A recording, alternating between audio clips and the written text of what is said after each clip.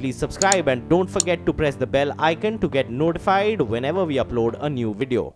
And welcome. You're watching Business Lunch and I'm Nisha Poddar. With me as always is Manglam Maloo. Manglam, good afternoon. Markets really tempering down the gains that it had seen in the early part of the day. At the moment, Sensex are holding up, uh, Nifty holding comfortably above 10,000 levels. But what I am really pinpointing at is the mid-cap universe. From being an outperformer of the frontline indices, it has turned to be an underperformer in the last one hour of trading session. So that's a space to watch out for for the day. In fact, losing in the last one hour of trade and quite um, uh, rapidly are uh, CG Power, Cron Crompton Greaves Power, Dr. Reddy's. In fact, Divi's Labs also along with Dr. Reddy's has been tempering down. Union Bank, PNB from the banking space and Idea Cellular from the telecom space, even though there is good news coming in in terms of their value unlocking. What are you picking up, Mangla? Well, uh, uh, Nisha, you know, as, as, far as the front line is concerned, we're uh, uh, holding steady as far as both the Nifty and the Sensex are concerned. We opened up with a gap up, and the gap up is sustained. In fact, we're uh, hover, hovering around that 10,050 mark. We'll keep an eye out on that. The mid caps, they're off the high point of the day, still pretty much in line with the front line indices if uh, you account for the kind of outperformance that we saw in yesterday's trading session. But what is actually worrying is the advanced decline ratio. That should come up both the green and the red charts lines for you and there you will see that they've started to come narrower from the opening tick itself. So there we have it. Keep an eye out on that data point. But apart from that no real complaints from the frontline indices led from the front by the OMCs all of them at the high point of the day. The Bharti stocks also contributing by their own uh, uh, uh on the back of their own news flow. Bharti Airtel up 4% Tech stocks, that will be in focus. Remember, TCS reports their numbers tomorrow. The IT bellwether out there, it is outperforming at the high point of the day. The other tech stocks are buzzing too. So TCS numbers will perhaps put uh, uh, put some uh, uh put some sort of color on what the earnings street is expecting from this space. Talking about TCS, it's not just that. Even the Tata Group stocks, the consumption ones, uh, namely Global Chemical as well as Tata Coffee, all of them are buzzing around in trade today. What's losing as we speak actually is the housing finance companies. After a massive rally, they're seeing some bit of profit taking. So we have DHFL, LIC Housing Finance. South Indian Bank, on the other hand, is again hitting northward in trade, and that on the back of a CNBC impact. Remember, the management told CNBC TV 18 today that there is no more stress in the book, and yesterday's higher provisioning was just a one-off. What is actually interesting is the put call ratio. More puts are being added. The put call ratio has increased to 1.45 versus 1.4 and now the bulls are getting a little uh, more tempted to short in the money puts as well. So the 10,000 put that has been seeing a lot of writing for a while now. So today it's added almost 15 lakh shares in open interest for a premium of 50 rupees, indicating that 9950 could be a support. But the 10,100 put that is something that I'm most interested in uh, 7 lakh shares added already. Remember that is an in the money put right now for a premium of 80 rupees. Perhaps they believe that even 10,020 would hold as we speak. So as of uh, the FNO space is concerned, bulls are getting a little uh, uh tempted to write more puts.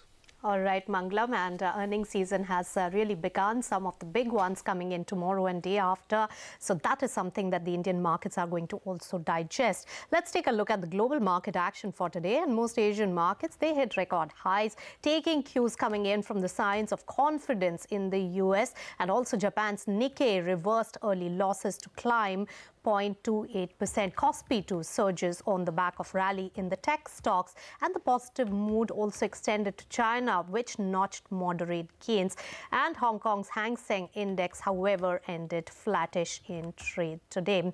In fact in the red. Let's take a look at Europe which has just opened uh, some time back and it's a mixed start as investors really continue to monitor the ongoing political uncertainty there and meanwhile the UK Prime Minister Theresa May is to face opposition Labour leader Jeremy Corbyn in Parliament for the first time this season that's an important data point on top of investors' minds. And uh, meanwhile, the Spanish government is meeting in the capital Madrid today to shore up its response to the Catalan independence movement. That's an ongoing tussle going on. And remember that Catalonia has held back on an outright declaration of independence and sought further talks with Spain. An opening there, and there you go, all that weighing heavy on the European market markets. But let's uh, get back home to some stock specific and important developments. We'll do that, but uh, in, in a moment, we'll also get some global market opinion from Neeraj Seth of BlackRock. In fact, he believes that the Fed's December rate hike is a done deal.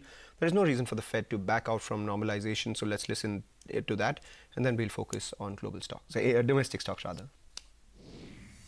I think the interest rate hike in December is almost a done deal. Mm. So if you look at the market pricing over the course of last month, we have gone from pricing roughly 30% probability to hmm. 80. So it's pretty much done. And given the strong growth, given where the, the average hourly earnings are, to some extent, the initial signs of the impulse in terms of the inflation, there's no reason for Fed to back out from the normalization path. Fed is going to be gradual and mindful. Obviously, they just started, kicked off the balance sheet reduction. They're going to go with the interest rate hike, and they'll watch the data and more specifically the financial conditions.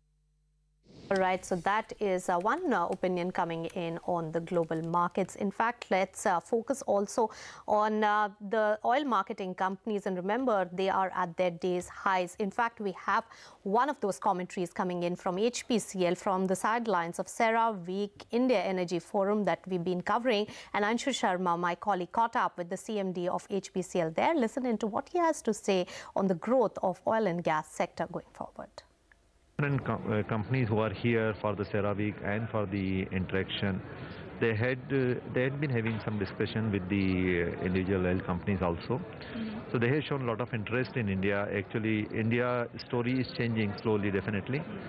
Earlier, uh, the prominence which India is getting today was not there. Definitely, people have started believing in India's story. Mm -hmm. So that augurs very well for the country in terms of investment, in terms of progress, in terms of uh, getting the world majors interested in India, getting the new technologies. Mm.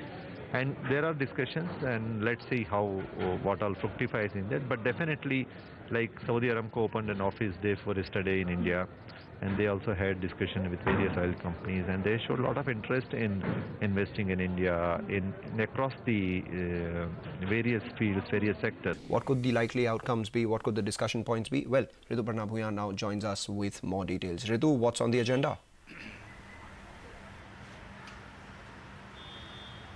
Well, broadly, it can be divided into uh, two parts. Firstly, of course, uh, you know uh, how uh, growth can be boosted. So that is one uh, set of uh, you know issues which the PMAC members will discuss today. And secondly, of course, on on how to increase avenues for employment and and investment.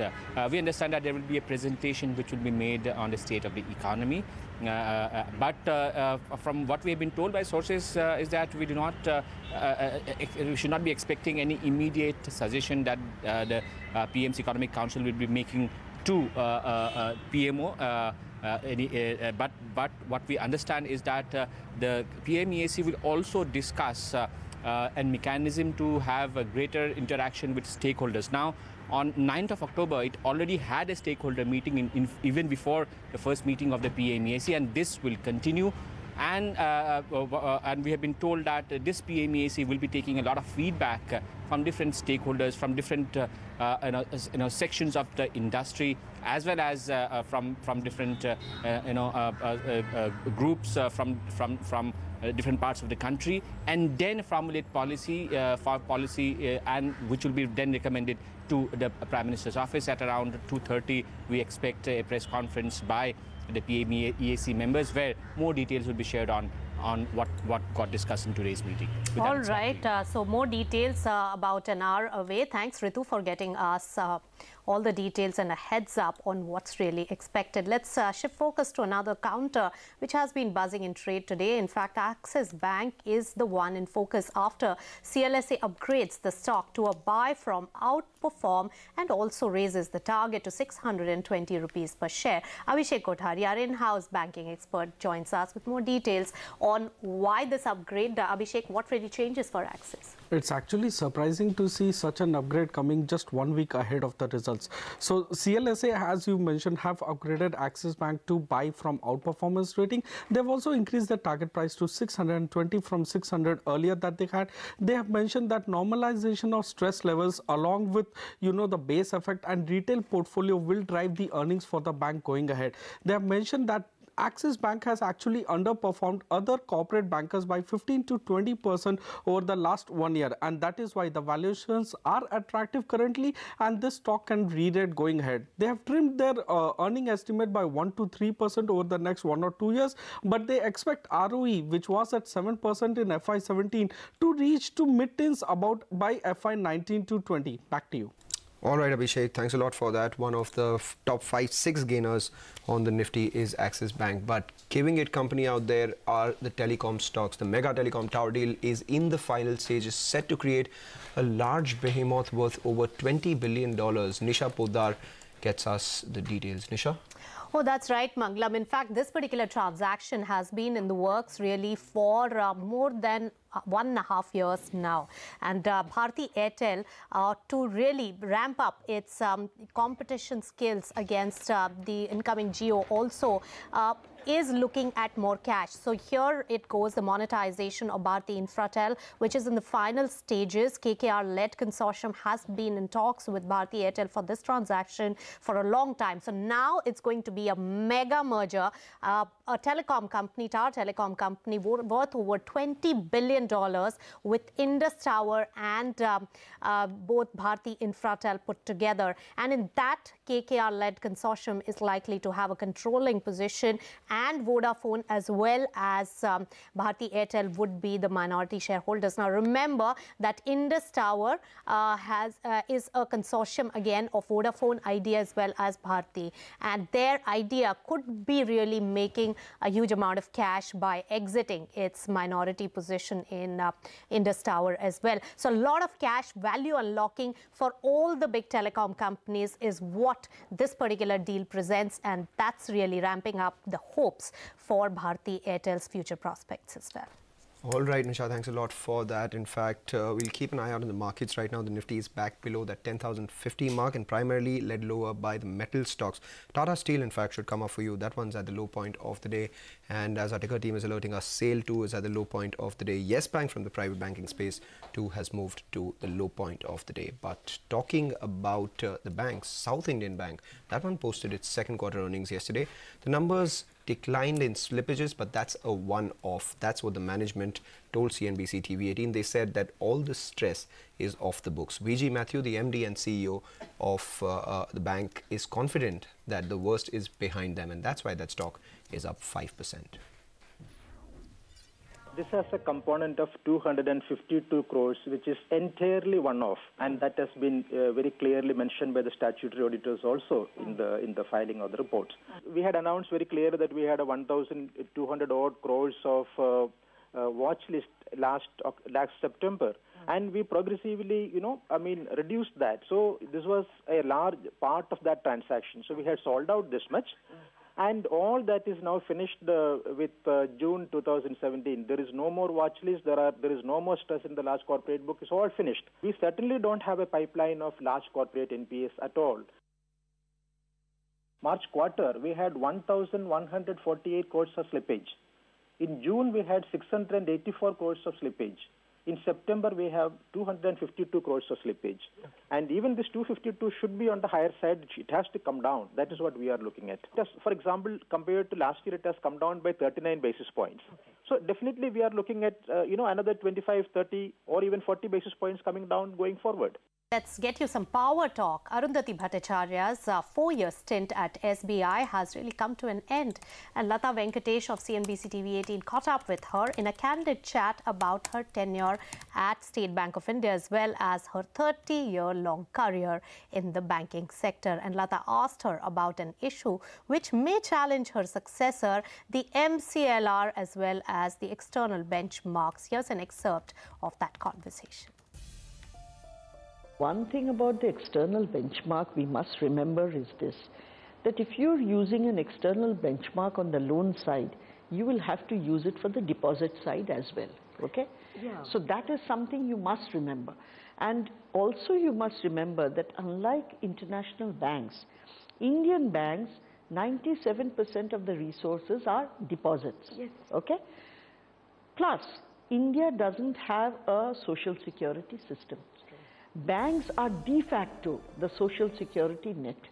There are thousands of people who retire who don't have the risk appetite of going into the market and they depend upon bank interest in order to live. Now, if you're going to attach the deposit to the external benchmark, then your bank interest is going to fall quite, quite steeply. Yes, It will. So is India ready for that? I think, you know, that is a question that we really and truly need to look at. Because But you cannot have... Ma'am, the regulator is telling you this. So, I know, a person in the I public understand. space. I am now talking not from the bank, not from the regulator. I am talking as an individual. I am also amongst those retired people. Hmm. Okay? I am also amongst those retired people, and I can understand how those retired people are depending upon a bank interest. I may be very lucky, and I may be able to still work. There will be a lot of people who will not be able to do that, and they are dependent on bank interest. Mm-hmm. Bank interest, if you attach it to the external benchmarks, will be at least 200 basis points below the external benchmarks. So where do you see it then? It comes to around four and a half. Now, can you imagine a deposit rate at four and a half in a country that doesn't have a social security as yet? Where and how will it be uh, be uh, workable? When I keep reading this and try to write edits on it, there are three things that keep coming. Uh, capitalization, privatization, mergers. Where would you put yours? No, I think capitalization comes ahead of everything, Everything else. else. Yeah. So capitalization, I don't see any way of putting it anywhere behind. And I have been saying this for a very long time. In fact, even with Dr. Rajan, one of the biggest tussles that I used to have is, what I had said is that AQR is fine. It must go hand in hand with capitalization and resolution. Mm. You know, it cannot be a single standalone initiative. If, if it takes time for resolution and capitalization, let's get that on board and then let's get this going. It's not that we didn't want that, but I wanted that, you know, if it is a tripod, the all three legs mm. should be firmly in place. Mm. Uh, maybe there was, were other uh, perspectives or maybe there were some other requirements because of which one went first and then one has come and then the other one is being considered. But whatever it is, my own feeling is that this is the best way of addressing. If you put all three together, it works fantastically. Then the down cycle is shorter in, in term and you can get back quickly. All right, that was Arundhati Bhattacharya, but can't keep your eyes off the market right now. The mid-cap index in particular, in fact, all the three frontline indices, the Nifty, the Sensex as well as the Nifty Bank have come off the high point of the day. The mid-cap index sharply off the high point of the day, currently in the red. And as we speak, there is a sharp correction that we're seeing in a lot of these consumer names. Raymond should come up for you. Raymond's taken a sharp knock. We have uh, Jubilant Food as well as PVR, both of them at the low point of the day too. Not just the consumer space, we also have a couple of financials. Andhra Bank is at the low point of the day. We have Manappuram Finance taking a sharp knock and there we have But Cummins uh, too. we at the low cannot take our eyes off also the frontline indices. Right. Uh, besides the mid cap, the frontline indices also in tandem have been losing the gains. And in fact, if you take a look at the contribution chart, Reliance has also slipped uh, substantially, uh, taking away a large part of support. And of course, Yes Bank, Tata Steel, Vedanta are some of the ones which have really uh, taken off support from Nifty 50 as well, which has lost fair bit of points in the last few minutes of trade. So keep an eye out on the overall market slipping in trade right now. Midcap Radar is going to take the market action forward.